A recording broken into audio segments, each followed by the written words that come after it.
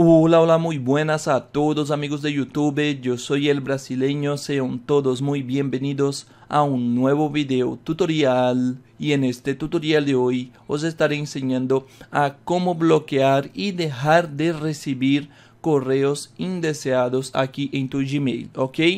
Dicho esto chavales, empecemos.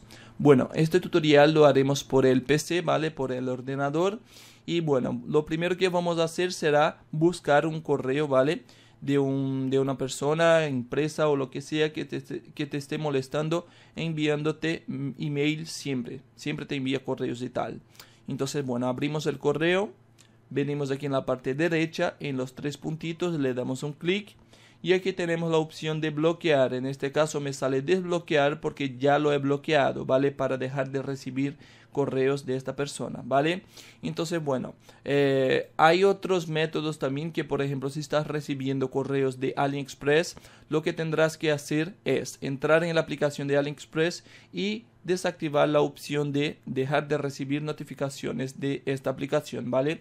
Hay varias aplicaciones que tendrás que entrar en la aplicación o la web, dependiendo de dónde recibes correos indeseados, tendrás que entrar en la aplicación o, en tu cuenta de la web o lo que sea y desactivarlo desde ahí, ¿ok?